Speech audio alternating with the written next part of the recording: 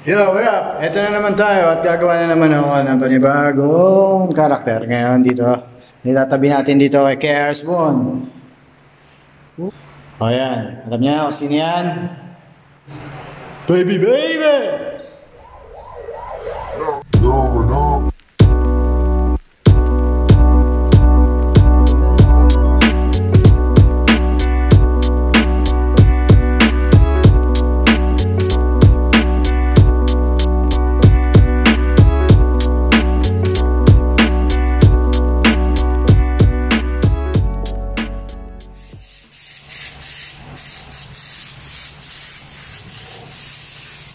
Mano-mano sketch yan, mano-mano.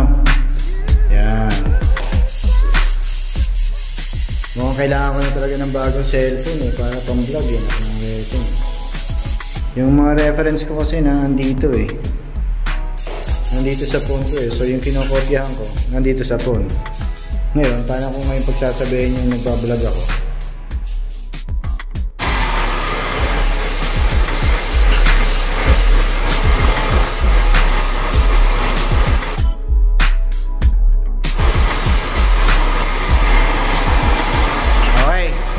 So ngayon, dito muna.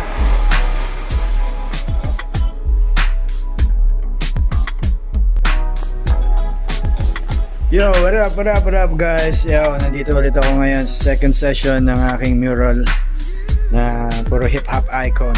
Yan. Dito ulit ako sa lugar ng Quezon. Yan.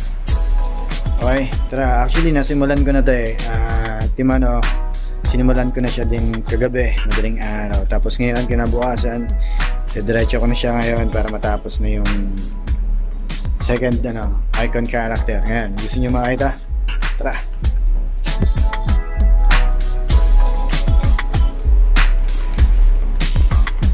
Wow! Yun. Diba? Ito na siya ngayon. It's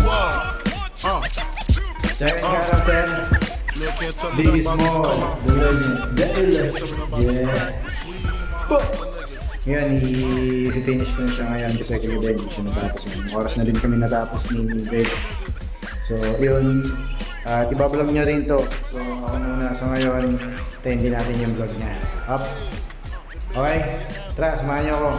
Tapusin nga ito.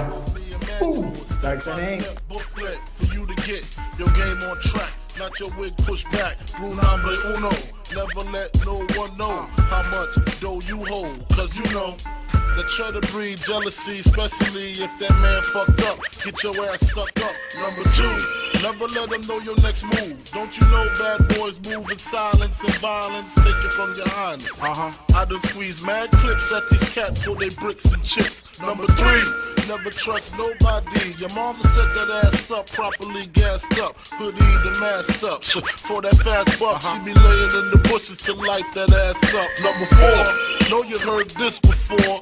Never get high on your own supply. Number five, never sell no crack where you rest at. I don't care if they want an ounce, tell them bounce. Number six, that goddamn credit, get it. You think a crackhead paying you back? Shit, forget it. Seven, this rule is so underrated. Keep your family and business completely separated. Money and blood don't mix like two dicks and no bitch. Find yourself in serious shit. Number eight, uh, never keep no weight on you.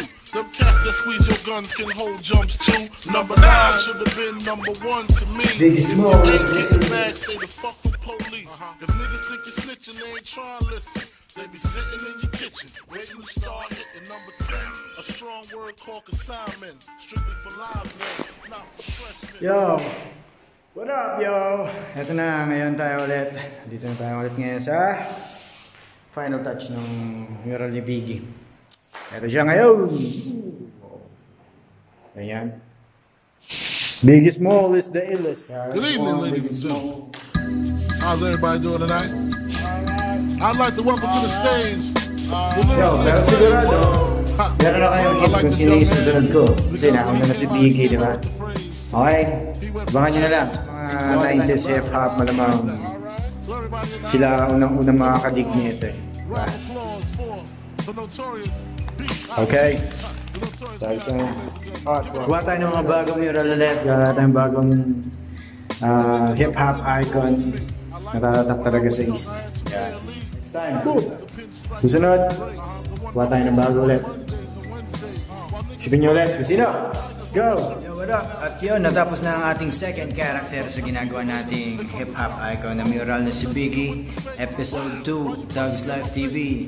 So ano pang hinihintay nyo? Subscribe lang kayo dito sa channel ko para updated kayo sa gagawin ko mga mural. At sa susunod pa na gagawin kong mural.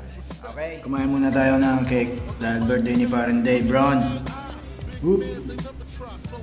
Handa niya, handa hapon. Peace out! Whoa.